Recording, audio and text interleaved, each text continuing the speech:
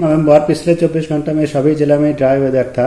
Lowest minimum temperature Phulbani में हुआ 9.0 degree Celsius plains area में। टेम्परेचर में ज़्यादा चेंजेस नहीं हुआ है।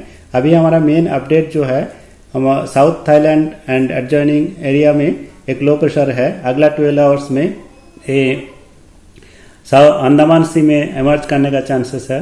फिर हमारा सेकेंड दिसंबर के डिप्रेशन में रूप लेने का चांसेस है।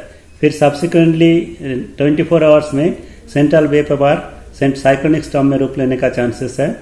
और फोर्थ दिसंबर का इसका मूवमेंट नॉर्थ वेस्ट उसका बाद इसका मूवमेंट नॉर्थ वेस्ट वर्ड रहेगा। फर्दर इंटेंसिफिकेशन भी हो सकता है।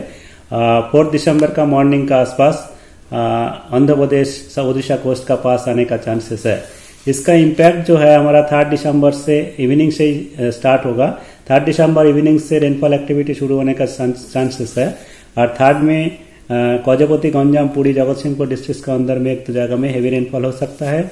और फोर्थ एंड फिफ्थ में हमारा ज़्यादा रेनफॉल एक्टिविटी रहेगा। फोर्थ में कोस्टल ओडिशा का मोस्ट ऑफ़ द डिस्ट्रिक्ट में ही में लगभग heavy to very heavy rainfall